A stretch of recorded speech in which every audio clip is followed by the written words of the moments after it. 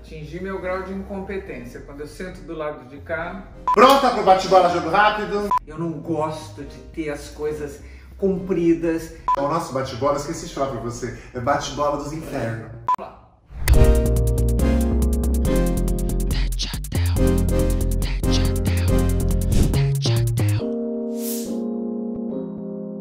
Oi, gente, agora um especial, olha que beleza. Erika Hilton, que está, vai lá dar o clique aqui no canal, que está dentre as nossas entrevistadas dessa temporada, a maior vereadora deste Brasil, nas últimas eleições foi a mais votada, uma entrevista inteligentérrima. Ela deu a ideia que eu fizesse o bate-bola jogo rápido, que é o quadro clássico que mamãe inventou e que todo mundo hoje chupinha, né? Faz ping-pong, até chama bate-bola, mas quem pode fazer é só ela ou eu ou o Cristiano, a gente da família, entendeu? Uma coisa, direitos autorais, tá? Herança nossa. Pronta pro bate-bola jogo rápido? Sempre. Um sonho realizado. Um sonho realizado? Eu espero que nenhum, porque é, no que eu realizo um sonho. É, eu vou ter que começar outro, porque eu vivo é dessa expectativa. Eu não gosto de ter as coisas cumpridas e de repente ficar no nada. Ó, oh, gente, que maravilhosa, hein? Não só nas perguntas, mas nas respostas também. Ela é genial! Um trauma nunca revelado. Um trauma, um trauma nunca revelado? Aquilo que a gente chama, o nosso bate-bola, esqueci de falar pra você, é bate-bola dos infernos. Tá bom, eu vou contar. Então, qual um trauma nunca revelado e que eu tive tempo, andei tendo tempo ultimamente para pensar sobre o assunto. Eu nunca vi os dentes da minha mãe.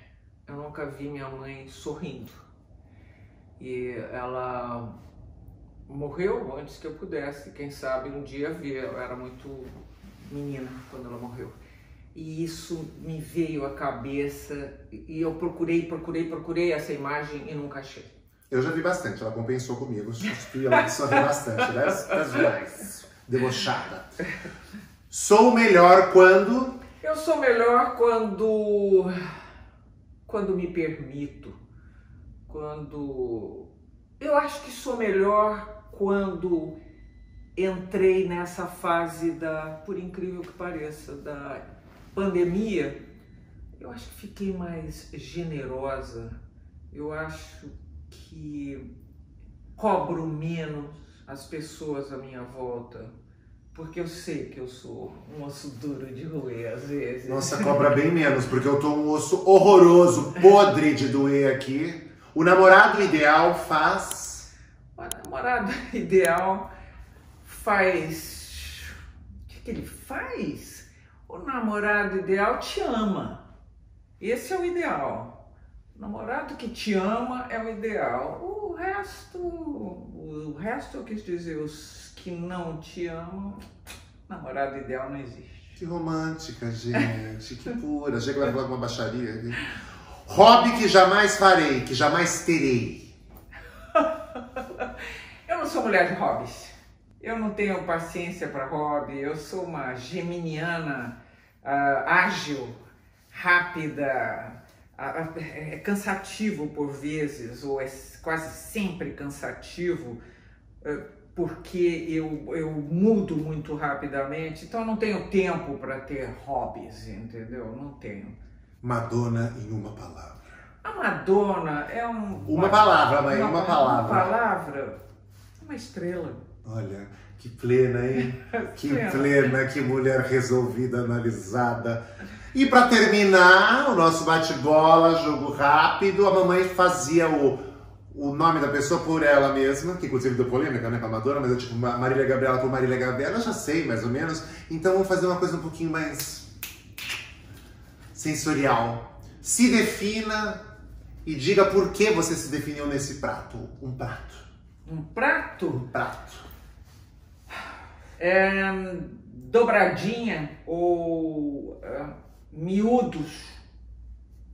E por que que eu me defini nesse prato?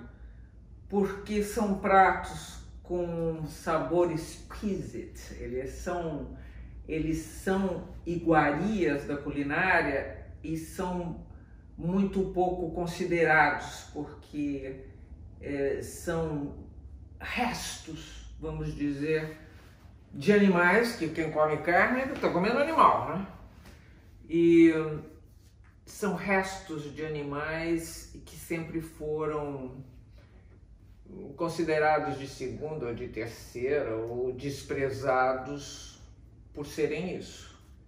E resultam saborosos, iguarias mesmo. Eu acho que dá para fazer esse tipo de ligação com o que somos nós, quer dizer, nós somos uns animais cheios de defeitos e porcarias, e eu estou falando por aqui, né, passando pela cabeça, e a gente despreza com muita facilidade, a gente é, ignora ou esnoba ou, ou, ou tira sarro de quem é diferente de nós. Nós todos somos diferentes uns dos outros e somos todos muito palatáveis se você tiver paciência, delicadeza e entendimento, procurar entender o outro e aceitá-lo como ele é. Muito obrigado, mãe?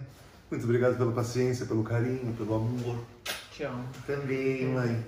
Gente, esse, esta foi mais uma edição de bate-bola jogo rápido, só que essa foi a edição histórica do Tete Atel familiar. Não se esqueçam de conferir os nossos episódios, tanto de primeira como de segunda temporada do Tete Atel no canal YouTube. E não se esqueçam de dar o seu like, comentar, se inscrevam no canal, compartilhem, ativem o sininho. E ó, estamos bombando no TikTok. Mamãe comigo também no TikTok, fazendo várias gracinhas, várias oh, piadinhas, yeah. né? Twitter. Sou jovem. Jovem. Instagram. Vira e mexe, faz uma participação especial e outras pessoas dessa família. Fala o que vocês querem ver, fala o que vocês estão gostando, do que vocês não estão gostando, com amor e carinho, tá? Beijo, Cristiano, preciso, hein? Ah, é. Cris, meu irmão. Muito obrigado por emprestar a mamãe aqui. Daqui a pouco é você não, que tá eu... aqui em Portugal. Beijo, amor. Até semana que vem, família. Família, família é, eu tô parecendo um ex-participante de reality show. Família, vota em mim! Não. Queridos, família Tete Hotel. Beijo, até a próxima.